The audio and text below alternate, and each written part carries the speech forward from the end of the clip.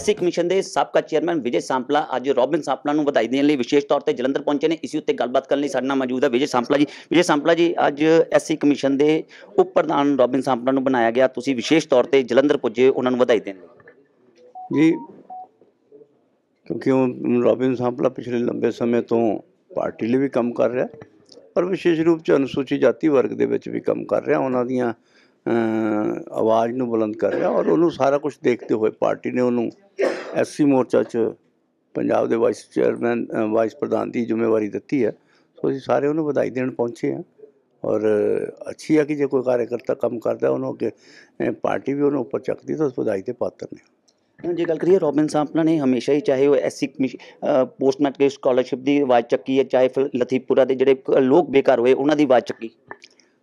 ਕੱਲੀ ਇਹਨਾਂ ਦੀ ਨਹੀਂ ਹਰ ਇੱਕ ਪੱਖੋਂ ਹੀ ਜਿੱਥੇ ਵੀ ਲੋੜ ਪਈ ਉਹਨਾਂ ਨੇ ਆਵਾਜ਼ ਚੱਕੀ ਔਰ ਜਿੱਥੇ ਵੀ ਪਾਰਟੀ ਨੂੰ ਵੀ ਉਹਨਾਂ ਦੀ ਲੋੜ ਪਈ ਉਹਨਾਂ ਨੇ ਆਪਣਾ ਪੂਰਾ ਯੋਗਦਾਨ ਦਿੱਤਾ ਔਰ ਉਹ- ਉਹਦੇ 'ਚ ਉਹਨੂੰ ਦੇਖਦੇ ਹੋਏ ਹੀ ਅਸੀਂ ਉਹਨਾਂ ਦੀ ਕਾਰਗੁਜ਼ਾਰੀ ਨੂੰ ਦੇਖਦੇ ਹੋਏ ਪਾਰਟੀ ਨੇ ਐਡਾ ਬੜਾ ਮਾਨ ਦਿੱਤਾ ਹੈ ਔਰ ਜਾਖੜ ਸਾਹਿਬ ਲੱਦਰ ਸਾਹਿਬ ਇਹਨਾਂ ਸਾਰਿਆਂ ਨੇ ਅਗਰ ਸੋਚ ਵਿਚਾਰ ਕੇ ਹੀ ਉਹਨੂੰ ਜ਼ਿੰਮੇਵਾਰੀ ਦਿੱਤੀ ਹੈ। ਆਉਣ ਵਾਲੇ ਇਲੈਕਸ਼ਨਾਂ ਦੇ ਵਿੱਚ ਕਿਸ ਮੁੱਦਿਆਂ ਨੂੰ ਲੈ ਕੇ ਜਿਹੜੀ ਹੈ ਲੋਕਾਂ ਦੀ ਅਦਾਲਤ 'ਚ ਜਾਏਗੀ ਪਾਰਟੀ?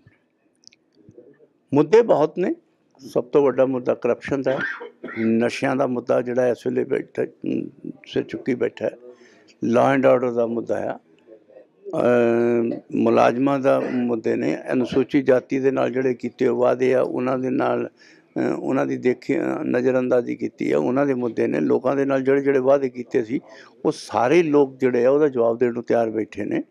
ਅੱਜ ਮੁਲਾਜ਼ਮ ਧਰਨੇ ਦੇ ਕੇ ਬੈਠੇ ਆ ਪੁਲਿਸ ਵਾਲੇ ਧਰਨਾ ਦੇ ਕੇ ਬ- ਮੰਨ ਲਓ ਰੋਸ 'ਚ ਬੈਠੇ ਨੇ ਕਿ ਉਹਨਾਂ ਦੀਆਂ ਤਨਖਾਹਾਂ ਛੇਵਾਂ ਪੇ ਕਮਿਸ਼ਨ ਜਿਹੜਾ ਉਹਨਾਂ ਦਾ ਪੂਰੀ ਲਾਗੂ ਨਹੀਂ ਕੀਤਾ ਆ। ਔਰ ਨਾਲ ਨਾਲ ਜਿਹੜੀਆਂ ਬੀਬੀਆਂ ਹੈ, ਜਿਨ੍ਹਾਂ ਨੂੰ 1000 ਰੁਪਇਆ ਮਹੀਨਾ ਦਾ ਦੇਣ ਦਾ ਵਾਅਦਾ ਕੀਤਾ ਸੀ ਉਹ ਕਿਤੇ ਦਿਖਾਈ ਨਹੀਂ ਦਿੰਦਾ।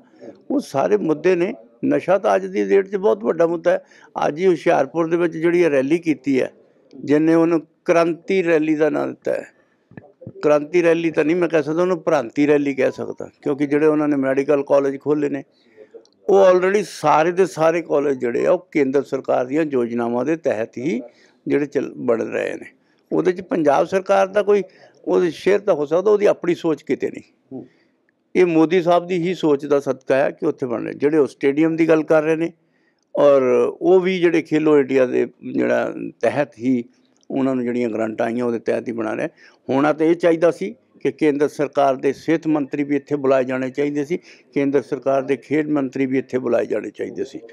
Youth and sports and youth affair ਵਾਲੇ ਵੀ ਬੁਲਾਏ ਜਾਣੇ ਚਾਹੀਦੇ ਸੀ। ਉਹਦਾ ਕਾਰਨ ਹੈ ਕਿ ਅਗਰ ਸਟੇਡੀਅਮ ਬਣ ਰਿਹਾ ਤਾਂ ਕੇਂਦਰ ਸਰਕਾਰ ਦੀਆਂ ਯੋਜਨਾ ਨਾਲ ਜੇ ਹਸਪਤਾਲ, ਮੈਡੀਕਲ ਕਾਲਜ ਬਣ ਰਿਹਾ ਤਾਂ ਉਹ ਵੀ ਉਹਨਾਂ ਦੀਆਂ ਯੋਜਨਾ ਦੇ ਨਾਲ ਤਾਂ ਜੇ ਉਹ ਸਾਰੇ ਪੈਸਾ ਜਿਹੜਾ ਆ ਉਹਦੇ 'ਚ ਮੁੱਖ ਰੂਪ ਦੇ ਵਿੱਚ ਕੇਂਦਰ ਸਰਕਾਰ ਦਾ ਲੱਗ ਰਿਹਾ, ਯੋਜਨਾ ਕੇਂਦਰ ਸਰਕਾਰ ਦੀ ਆ, ਤੇ ਕੇਂਦਰ ਸਰਕਾਰ ਨੂੰ ਤਾਂ ਪੁੱਛਿਆ ਹੀ ਨਹੀਂ ਕਿਤੇ। ਤੇ ਆਪਣਾ ਹੀ ਡਬਲੀ ਬਜਾਏ ਆ, ਔਰ ਇਹ ਦੱਸਿਆ ਗਿਆ ਕਿ 75 ਸਾਲ 'ਚ ਤਿੰਨ ਬਣਾਏ, ਅਸੀਂ 1.5 ਸਾਲ 'ਚ ਪੰਜ ਬਣਾ ਤੇ ਪੰਜ ਇੱਕ ਵੀ ਨਹੀਂ ਬਣਾਇਆ ਉਹਨਾਂ ਨੇ। ਹੱਲੇ ਤੱਕ 5 ਸਾਲਾਂ 'ਚ ਉਹਨਾਂ ਨੇ ਕੁਝ ਨਹੀਂ ਕੀਤਾ। ਔਰ ਜਿਹੜੀ ਬਾਹਰ ਜਿਹੜੀ ਇਹ ਲੋਕ ਭ੍ਰਾਂਤੀ ਰੈਲੀ, ਮੈਂ ਤਾਂ ਕਹਿ ਰਿਹਾ ਕਿ ਲੋਕ ਕਹਿ ਰਹੇ ਸੀਗੇ ਕਿ ਸਾਨੂੰ ਤੁਹਾਡੀ ਰੈਲੀ ਦੀ ਲੋੜ ਨਹੀਂ। ਤੁਹਾਨੂੰ ਸਾਡੇ ਆਹ ਜਿਹੜੇ ਨੀਲੇ ਪੀਲੇ ਬੋਰਡ ਦੇ ਰੰਗ ਕੇ ਪੂਰਾ ਹੁਸ਼ਿਆਰਪੁਰ ਰੰਗ ਦਿੱਤਾ ਸਾਨੂੰ ਉਹਦੀ ਲੋੜ ਨਹੀਂ। ਸਾਨੂੰ ਤਾਂ ਬੀਬੀਆਂ ਕਹਿ ਰਹੀਆਂ, ਸਾਨੂੰ 1000 ਰੁਪਇਆ ਦੱਸੋ ਕਿੱਥੇ ਆ, ਉਹ ਸਾਡਾ ਦਿਓ। ਦੂਸਰਾ, ਜਿਹੜੇ ਲੋਕ ਬੈਠੇ ਜਿਨ੍ਹਾਂ ਦੇ ਪੁੱਤ ਮਰ ਗਏ, ਜਿਹੜੇ ਨਸ਼ਿਆਂ ਦੀ ਗਰਦ ਵਿੱਚ ਗਰ- ਜਿਹੜੇ ਉਹ ਨਿਗਲ ਲਏ, ਨਸ਼ਿਆਂ ਨੇ ਨਿਗਲ ਲਿਆ, ਉਹ ਉਹਦਾ ਜਵਾਬ ਮੰਗ ਰਹੇ ਨੇ ਕਿ ਸਾਨੂੰ ਤਾਂ ਸਾਡੇ ਬੱਚਿਆਂ ਨੂੰ ਜਿਹੜਾ ਆ ਉਹ ਜਿਹੜਾ ਨਸ਼ਿਆਂ ਤੋਂ ਬਚਾਉਣ ਲਈ ਸਰਕਾਰ ਕੀ ਕਰ ਰਹੀ, ਉਹ ਦੱਸੋ, ਤੁਹਾਡੇ ਬੋਰਡਾਂ ਜਾਂ ਤੁਹਾਡੀਆਂ ਫੋਟੋਆਂ ਦੇਖ ਕੇ ਸਾਡਾ ਢਿੱਡ ਨਹੀਂ ਭਰਨਾ, ਸਾਡੀਆਂ ਲੋੜਾਂ ਪੂਰੀਆਂ ਨਹੀਂ ਹੋਣੀਆਂ, ਲੋੜਾਂ ਲਈ ਤੁਸੀਂ ਅੱਗੇ ਆਓ। ਔਰ ਇਹ ਮੁੱਦਿਆਂ ਦੀ ਗੱਲ ਕਰੇ ਤਾਂ ਮੁੱਦੇ ਦਾ ਅਨਾਥ ਹੈ। ਇੱਕ ਵੀ ਕੰਮ ਦੱਸ ਦਿਓ ਕਿ ਜਿਹੜਾ ਪੰਜਾਬ ਸਰਕਾਰ ਨੇ ਕਿਤੇ ਕੀਤਾ ਤੁਹਾਨੂੰ ਦਿਖਾਈ ਦਿੱਤਾ ਹੋਵੇ। ਕੋਈ ਇੱਕ ਐਸੀ ਯੋਜਨਾ ਜਿਹੜੀ ਉਹਨਾਂ ਨੇ ਕਿਤੇ ਪੂਰੀ ਤਰ੍ਹਾਂ ਸਫਲ ਯੋਜਨਾ, ਕਿਸੇ ਇੱਕ ਯੋਜਨਾ ਦਾ ਨਾਮ ਲੈ ਲਓ, ਕੋਈ ਇੱਕ ਦੱਸ ਦਿਓ ਕਿ ਜਿਹੜੀ ਉਹਨਾਂ ਨੇ ਸ਼ੁਰੂ ਕੀਤੀ ਸੀ, ਉਹ ਸਫਲ ਹੋਵੇ। ਕਰਪਸ਼ਨ ਦੇ ਨਾਂ ਤੇ ਟੋਲ ਫ੍ਰੀ ਨੰਬਰ ਦਿੱਤੇ ਸੀ। ਕਿੱਥੇ ਨੇ? ਕਿੰਨੀਆਂ ਸ਼ਿਕਾਇਤਾਂ ਆਈਆਂ? ਕੀ ਕੀ ਕੀਤਾ? ਰੋਜ਼ ਤੁਸੀਂ ਕਚਹਿਰੀਆਂ ਚਲ ਜਾਓ ਜਿਹੜਾ ਮ, 500 ਦਾ ਕੰਮ ਹੁੰਦਾ ਸੀ ਹੁਣ 5000 ਚ ਹੋਣ ਲੱਗ ਪਿਆ। ਕਰਪਸ਼ਨ ਵੱਧ ਗਈ ਬਸ ਇਸ ਤੋਂ ਜ਼ਿਆਦਾ ਦੱਸੋ ਕੀ ਕਰਤਾ? ਮਤਲਬ ਪੰਜਾਬ ਦੇ ਮੁੱਖ ਮੰਤਰੀ ਤਾਂ ਇਹ ਕਹਿ ਰਹੇ ਕਿ ਅਸੀਂ ਉਹ ਕਰਕੇ ਦਿਖਾਤਾ 70 ਸਾਲ 70 ਸਾਲ ਸਰਕਾਰਾਂ ਕੋਈ ਵੀ ਰਹੀਆਂ ਉਹਨਾਂ ਨੇ ਉਹ ਕੰਮ ਨਹੀਂ ਕੀਤੇ। ਹਾਂ ਮੈਂ ਵੀ ਤਾਂ ਉਹੀ ਕਿਹਾ ਜਿਹੜਾ 500 ਦੇ ਕੇ ਰਿਸ਼ਵਤ ਦੇ ਕੇ ਕੰਮ ਕਰਾ ਲੈਂਦਾ ਸੀ ਉਹ 5000 ਰੁਪਏ ਦੀ ਰਿਸ਼ਵਤ ਦੇ ਕੇ ਹੋਣ ਲੱਗ ਪਿਆ ਉਹ ਇਹ 70 ਸਾਲ ਚ ਪਹਿਲਾਂ ਕਦੀ ਨਹੀਂ ਕਿਸੇ ਸਰਕਾਰ ਨੇ ਨਹੀਂ ਕੀਤਾ। ਇਹ ਇਸ ਆਮ ਆਦਮੀ ਪਾਰਟੀ ਨੇ ਕੀਤਾ ਕਿ ਜਿਹੜਾ ਕੰਮ ਪਹਿਲਾਂ ਥੋੜੀ ਰਿਸ਼ਵਤ ਸੀਗੀ ਥੋੜਾ ਬਹੁਤਾ ਕਿਤੇ ਨਾ ਕਿਤੇ ਅੱਖਾਂ ਦੀ ਵੀ ਸ਼ਰਮ ਸੀਗੀ। ਅੱਜ ਉਹ ਅੱਖਾਂ ਦੀ ਸ਼ਰਮ ਵੀ ਖਤਮ ਹੋ ਗਈ ਹੈ। ਹੁਣ ਤਾਂ ਸਿਰਫ ਪੈਸੇ ਤੋਂ ਬਿਨਾ ਕੋਈ ਕੰਮ ਨਹੀਂ ਹੋਣਾ। ਇਹ ਹੈ ਉਪਲਬਧੀ ਉਹਨਾਂ ਦੀ। ਇਹ ਗੱਠਜੋੜ ਦੀ ਦੀ ਗੱਲ ਵੀ ਚੱਲ ਰਹੀ ਹੈ ਕਾਂਗਰਸ ਤੇ ਆਮ ਆਦਮੀ ਪਾਰਟੀ ਦੇਖੋ ਇਹ ਤਾਂ ਉਹ ਜਵਾਬ ਉਹ ਦੇਣ ਕਿ ਰੋਜ਼ ਇੱਕ ਦੂਸਰੇ ਨੂੰ ਛੱਜ 'ਚ ਪਾ ਕੇ ਛੱਡਦੇ ਨੇ।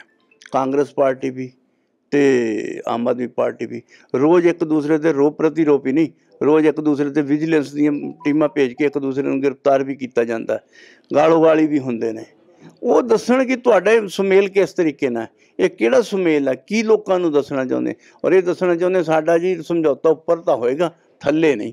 ਭਾਵ ਦਿਲਾਂ ਤੋਂ ਨਹੀਂ, ਉੱਪਰਲਾ ਉੱਪਰਲਾ ਹੀ ਹੈ। ਤੇ ਦਿਲਾਂ ਤੋਂ ਸਮਝੌਤਾ ਨਹੀਂ ਹੁੰਦਾ, ਉਹਨੂੰ ਕਿੰਨਾ ਕੁ ਵਧੀਆ ਕਹਿ ਸਕਦੇ ਆ ਔਰ ਇਹ ਜਿਹੜਾ ਕਰਪਸ਼ਨ ਪਲੱਸ ਕਰਪਸ਼ਨ ਦਾ ਸਮਝੌਤਾ ਕਰ ਲਓ, ਸ਼ਾਇਦ ਹੋ ਵੀ ਜਾਵੇ, ਕਿਉਂਕਿ negative plus negative is equal to plus ਹੀ ਹੁੰਦਾ। ਸੋ ਜਿਹੜਾ ਹੋ ਸਕਦਾ ਕਿ ਦੋ 네ਗੇਟਿਵ ਧਿਰਾਂ ਜੁੜ ਕੇ ਪਲੱਸ ਬਣ ਜਾਣ ਪਰ ਹਕੀਕਤ ਦੇ ਵਿੱਚ ਇਹ ਕਿਤੇ ਵੀ ਲੋਕਾਂ ਦੀ ਜਿਹੜੇ ਆ ਉਹ ਦਿਲ ਨੂੰ ਛੂਹਣ ਵਾਲਾ ਜਿਹੜਾ ਆ ਉਹ ਸਮਝੌਤਾ ਕਿਤੇ ਨਹੀਂ ਆ ਔਰ ਇਹ ਸਮਝੌਤੇ ਦੀ ਵੀ ਹਾਸੋਹਾਣੀ ਹੈ ਇਹ ਤਾਂ ਕਮੇਡੀਅਨ ਕਮੇਡੀ ਹੋ ਰਹੀ ਹੈ ਪੰਜਾਬ ਸਰਕਾਰ ਦੇ ਵਿੱਚ ਔਰ ਪੰਜਾਬ ਨੂੰ ਕਮੇਡੀ ਦੀ ਲੋੜ ਨਹੀਂ ਕਮਿਟਮੈਂਟ ਦੀ ਲੋੜ ਹੈ। ਜਿਹੜੇ ਪੋਸਟ ਮੈਟ੍ਰਿਕ ਸਕਾਲਰਸ਼ਿਪ ਦੇ ਜਿਹੜੇ ਵਿਦਿਆਰਥੀ ਆ ਹਾਲੇ ਵੀ ਧੱਕੇ ਖਾਂਦੇ ਹੋਏ ਦਿਖਾਈ ਦੇ ਰਹੇ ਨੇ। ਜਿੱਥੇ ਉਹਨਾਂ ਨੂੰ ਕੰਮ ਕਰਨਾ ਚਾਹੀਦਾ ਸੀ ਉੱਥੇ ਨਹੀਂ ਕਰ ਰਹੇ। ਔਰ ਹੱਲੇ ਵੀ ਸਾਨੂੰ ਤੇ ਐਫੀਡੇਵਿਟ ਦੇ ਕੇ ਆਏ ਸੀ ਕਿ ਅਸੀਂ ਸਕਾਲਰਸ਼ਿਪ ਜਿਹੜੀ ਆ ਕਲੀਅਰ ਕਰ ਦਿਆਂਗੇ। ਔਰ ਅਸੀਂ ਆਡਿਟ ਕੰਪਲੀਟ ਕਰ ਲਿਆ ਕਰ ਬਾਕੀ ਦੇ ਦਿਆਂਗੇ। ਪਰ ਹੱਲੇ ਤੱਕ ਕਿਤੇ ਵੀ ਸਾਨੂੰ ਕੁਝ ਵੀ ਦਿਖਾਈ ਨਹੀਂ ਦਿੰਦਾ। ਹਰ ਸਾਲ ਜਿ- ਜਿੰਨੇ ਵੀ ਵਾਅਦੇ ਆ, ਸਾਰੇ ਝੂਠੇ ਹੀ ਹੋ ਰਹੇ ਤਾਂ ਹਕੀਕਤ ਦੇ ਵਿੱਚ ਗਰਾਊਂਡ ਰਿਐਲਿਟੀ ਕੋਈ ਨਹੀਂ।